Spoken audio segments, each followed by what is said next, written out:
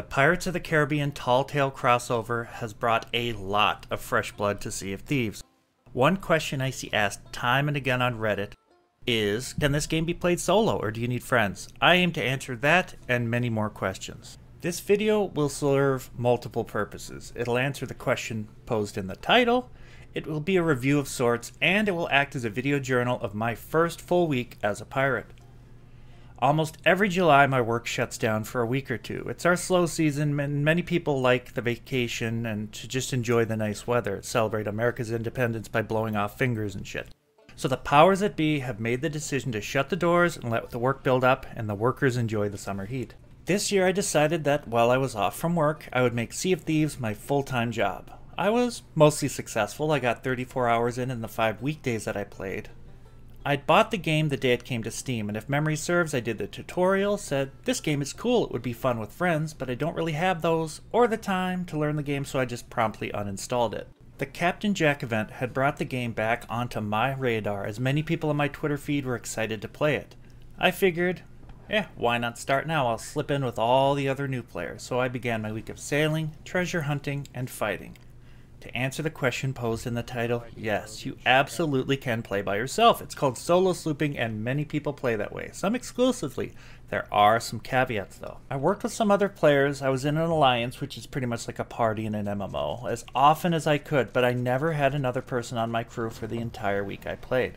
I'm going to tell you something a lot of old sea dogs will say is bad advice. I think you should play the game solo at first. This allows you to meet the three main companies, find out who you like working for, and learn the ropes of completing voyage and also sailing with no pressure. You're alone. If you run your ship into the dock, and you will, you don't have to worry about someone else teasing you.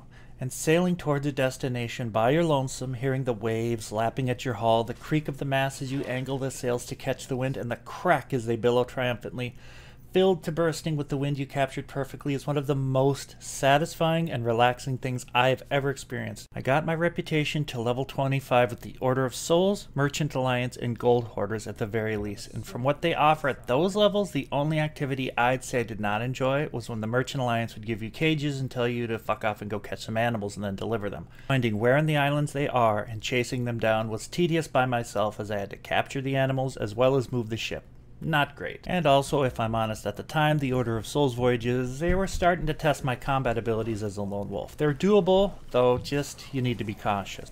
Each company offers something that I think anyone who would look at this game in the first place will like, if not love.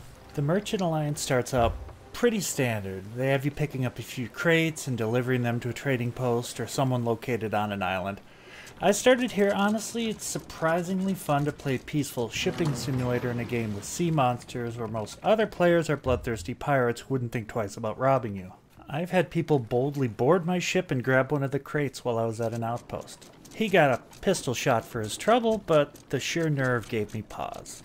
Later, the Merchant Alliance will send you out to hunt for lost shipments. I don't think I actually succeeded on one of these voyages in my first week, but the role of investigator following clues to find the lost ship, and more importantly to the Merchant Alliance at least, the cargo, was an astoundingly interesting change of pace from most other activities. Next up is the Order of Souls, and they at first seem to be the most nefarious of the lot. You meet them in dark, candlelit tents, the air thick with the smell of incense, smoke, and perhaps just a hint of blood. You're given parchments with pictures of cursed captains and a destination, and you'll often have to visit multiple islands on a single voyage, killing many skeletons and their captains, bringing back the skulls of the latter for your reward. With this realization, I started to sort of think of these folks in a different light. They're sending crews out to hunt the damned and bring back the glowing evil-infused skulls of their leaders. With tasks like these, your order can't be as wicked as they first appear, can they? As a bit of a side note, I did find these voyages to be rather stressful, because at the end of a long play session, they seem the least likely of the companies to lead you to chests organically. As such, I would often have to be ferrying many skulls one at a time, hoping some shady pirate didn't slink aboard my ship and steal the proof of my labors for their own profit. Then we have the Gold Hoarders faction. At first, I thought the Gold Hoarders were too little profit for all the work, but ended up enjoying my time sailing under their flag the most.